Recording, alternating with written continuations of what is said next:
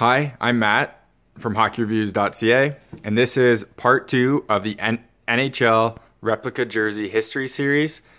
The other videos can be found in the Jersey Series uh, playlist as well. They'll be in the description below, as well as linked at the very end of the video. So please check those out to get the entire timeline and to get all the details. Next jersey we're going to look at is special because it's not a team jersey, it's actually an all star jersey. And uh, the reason I bring this one out is because it's the only CCM one I have.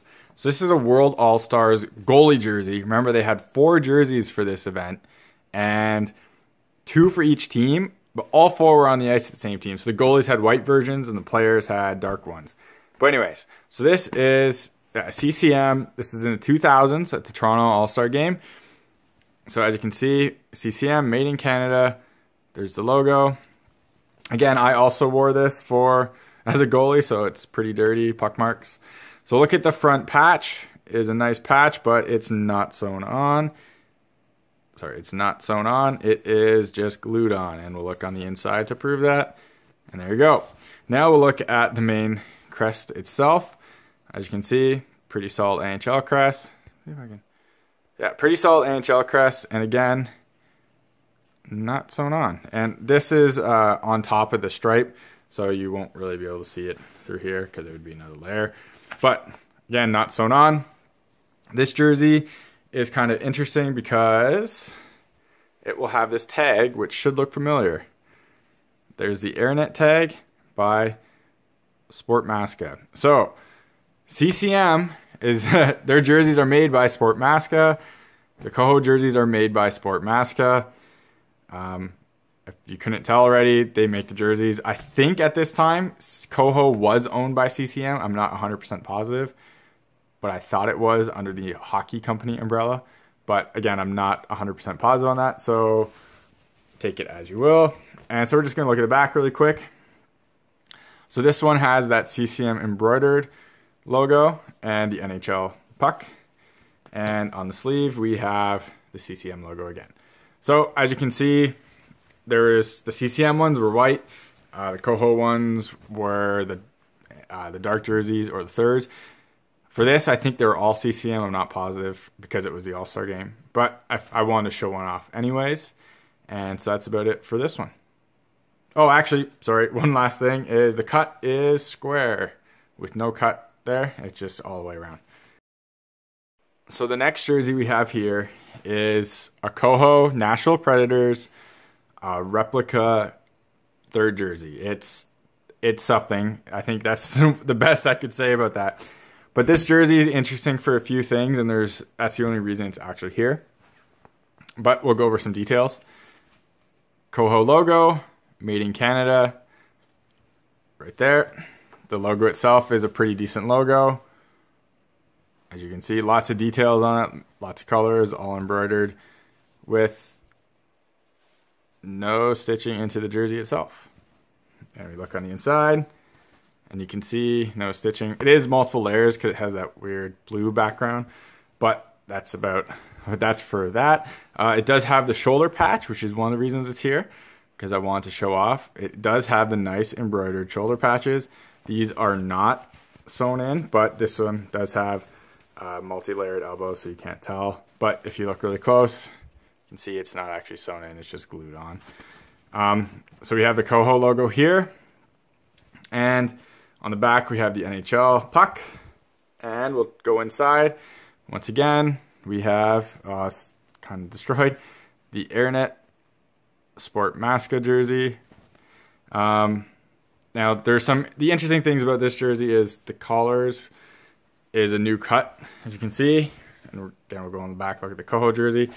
And this had a very different cut to this jersey compared to the previous ones. And this happened when all these really crazy uh, replicas came out, or sorry, not replicas, third jerseys. So the Canucks one with the gradients, it was that too. The arms got bigger on the arm. So, and it had like, they just became a little bit like different in that sense. But the big difference, and hopefully I can get this on camera, is the ducktail. So, or the platypus tail, as some people call it. started out here where the back of the jersey is lower than the front. Now, some people hate this and like Sidney Crosby gets his cut off so it's flat all the way through on his current jerseys because they still do that. Now, the side is still not cut here, but the important thing to note about the sides of this and how it's longer at the back is I believe this was the first transition to the edge jerseys. Because if you remember, the edge jerseys have the longer backs and a slightly different cut, whereas everything before was square. This one is not.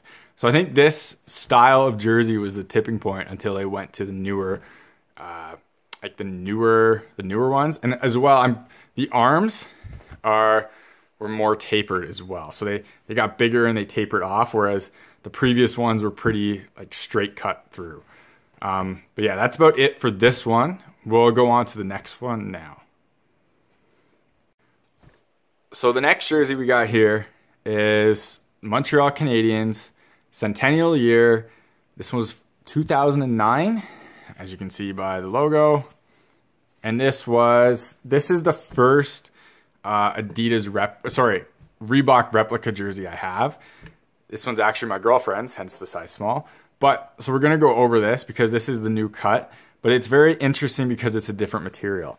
So first we'll look at the, the tag where, as you can see, just a Reebok made in Indonesia. Everything looks normal there. And we'll go to the logo really quick. So it's embroidered. As you can see, logo is pretty good quality. But when we look on the inside, there's no stitching. So again, that stitching didn't, uh, didn't carry over or the lack of stitching did carry over to this generation. Now for the shoulder patches, we get these awful screen printed uh, patches with like no embroidered detailing at all, where it's just like a printed material on, but they are sewn on, which was, I guess, the one nice thing, as you can see right there. But the quality drastically dropped. We now get the Reebok logo on the back. Um, we get the Reebok logo on the sleeve. We also get the jock tags. This one has an inner tag as well, but it's not sports mask as you can see anymore, which is unfortunate. Um, so yeah, there's nothing in there, just washing instructions. And this is the first time that we see, well, first time in the examples I have, that we see the cut down the side. Now remember, even with the ducktail on the Predators, wasn't cut one piece. This one is cut. And see if I can show it. I'm pretty sure this one has a longer back as well, and it does. So, as you can see down there, this striping is longer at the back than the front, so it, the ducktail carried over, and the new style cut of jersey carried over as well. Now, the interesting thing about this jersey is that it's not the normal Premier replica jersey material. It is basically AirKnit. As you can see, this is a pretty good quality. And one of the reasons I was okay with buying this for was because that quality. I'm not sure why they did that for this one. I'm thinking it might be something to do with the colors on it because it all is one layer with the colors on top. So maybe AirKnit lends itself to that better than the Premier material does. But regardless, this one was an AirKnit uh, Premier replica jersey of the Adidas one. And again, this one came out in 2009. Now, here's another very odd jersey in the sense of the NHL uh, replica, basically history. This jersey came out in 2000 for the Winter Classic in 2011, as you can see. It is again like the Montreal the previous Canadiens Centennial. It is an AirKnit material, as you can see, like that. But this has a lot of strange features on it. So we'll go over those. First, we'll look at the tag just to show it off. Again, this is one of my girlfriends, so hence the small. So interestingly, the uh, patch, the Winter Classic patch on the side is embroidered. And it's a great patch. It's the real patch, but it's not sewn on. It's just glued, as you can see on the inside. So it's really weird when the year before, or sorry, two years before, these were screen printed and sewn on, and yet this one's an embroidered patch, but just print glued on. It's one of those like it's really odd to me that these things can come out after each other and this, the differences are pretty astonishing in my eyes. They never really carried over a specific design set from what I could see. Now I know these are the Winter Classic ones and they're special because the material is different, everything like that. So maybe they want a little bit more quality, but regardless, that's still how I feel about it.